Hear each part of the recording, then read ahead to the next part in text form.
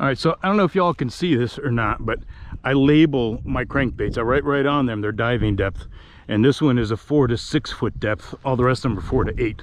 So hopefully this one will work. The one I was getting ready to put on is a um, uh, perch pattern. And it's longer than this one.